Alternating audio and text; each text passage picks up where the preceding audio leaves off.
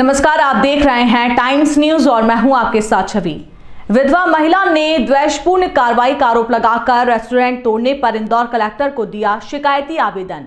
निपानिया क्षेत्र के तुलसी नगर का मामला, पीड़ित महिला ने तहसीलदार, नगर निगम के बिल्डिंग इंस्पेक्टर एवं संस्था अध्यक्ष के खिलाफ लिखित शिकायत की है। हाल ही में 31 जनवरी को इंदौर के निपानिया क्षेत्र में तुलसी नगर के ही डी सेक्टर स्थित yes boss the food court नामक रेस्टोरेंट को नगर निगम के माध्यम से तोड़ दिया गया था। उक्त रेस्टोरेंट का संचालन विधवा महिला मीरा मालवीय, पति स्वर्गीय संतोष मालवीय द्वारा वर्ष 2020 से किया जा रहा था। इस मामले में महिला ने गुरुवार को जुनी इंदौर तहसीलदार जगदीश रंधावा, नगर निगम के विजयनगर जोन में पदस्थ building inspector Satyendra Singh Rajput, Tulsi Nagar welfare संस्था के अध्यक्ष राजेश तोमर एवं तुलसी नगर डी सेक्टर के अध्यक्ष नीरज कुमार तिवारी के विरुद्ध पद का दुरुपयोग, द्वेषपूर्ण कार्रवाई, चार सौ बीसी का झूठे दस्तावेज़ प्रस्तुत करने, कानून के दुरुपयोग एवं न्यायालय की अवमानना का आरोप लगाते हुए इंदौर कलेक्टर आशीष सिंह के समक्ष शिकायती आवेदन दिया है। पीड़ित महिला मीरा मालवीय ने मीडिया से चर्चा में बताया है कि उक्त मामले में मेरा प्रकरण जुनी इंदौर तहसीलदार जगदीश रंधावा के यहाँ विचाराधीन था। संयुक्त एक हज़ार स्क्वायर फीट जगह रेस्टोरेंट के लिए ममता ब्रह्मे द्वारा किराए पर दी गई थी, जिनका एग्रीमेंट पूर्व में उनके दिवंगत पति दीपक ब्रह्मे द्वारा मेरे व मेरे दिवंगत पति संतोष मालवीय से किया गया था। बाद में उक्त स्थान को शासकीय जगह बताकर मेरी आजीविका के एकमात्र साधन रेस्टोरेंट को द्वेषपूर्ण तोड़ दिया गया। इस मामले में भू राजस्व संहिता का भी उल्लंघन किया गया और बिना मुझे विधवा पीड़ित की सुनवाई किए मेरी आजीविका के एकमात्र साधन को नष्ट कर दिया गया। महिला ने बताया है कि उसकी दो बेटियाँ और एक बेटा है। वह दिमागी बीमारी से ग्रसित सास भी है। ऐसे में अब उनके लिए आगे का जीवन यापन करना कठिन हो गया है। महिला ने बताया है कि उसने अपना घर एलआईसी हाउसिंग फाइनेंस में और जेवर गिरवी रखकर उक्त रेस्टोरेंट का सेटअप बनवाया था। महिला के पति की कोविड से मृत्यु हो चुकी है। पीड़ित महिला मीरा मालवीय ने कलेक्टर आशीष सिंह से दोषियों के खिलाफ सख्त कानूनी कार्रवाई करने एवं मामले की अतिशीघ्र उच्च स्तरीय जाँच करने की मांग की है। जबर से तोड़ा गया है। मुझे उसकी कोई जानकारी नहीं दी गई है। कोई नोटिस नहीं दिया गया।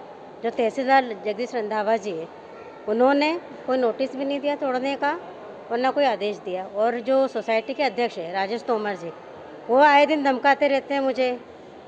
गंदी गंदी मतलब ऐसे वर्ड्स यूज़ करते जो मैं आपको बता भी नहीं सकती। तो बस यही सर से निवेदन है। मैंने यहाँ आवेदन दिया हुआ है कि मेरी सुनवाई की जाए। जी मतलब ये सर मैंने जो है मेरा घर गिरवी रख के मेरे जेवर गिरवी रख के मेरे हस्बैंड ने और मैंने बनाया था कोविड टाइम में। दो साल कोविड में निकल गए। उसके बाद एक साल जब मेरा कमाने का टाइमिंग आया तब से ये लोग मेरे पीछे पड़ गए कि आप इसको हटा दें।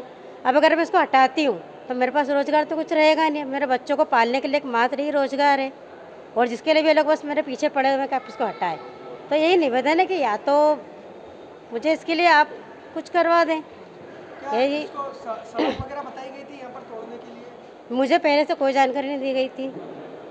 जो भी उन्होंने अभी बोला है कि सड़क की जगह ये तो मुझे हमें तो कोई जानकारी नहीं थी ना। तो क्या सिर्फ़ एकमात्र आप ही का रेस्टोरेंट तोड़ा गया वहाँ पर? हाँ उस एरिया में तो मेरा ही तोड़ा गया है। बाकी वो तो लगती है सर क्योंकि ऑब्वियसली मुझे कुछ बताया ही नहीं गया ना। अगर मुझे ना तो कोई जानकारी दी गई है।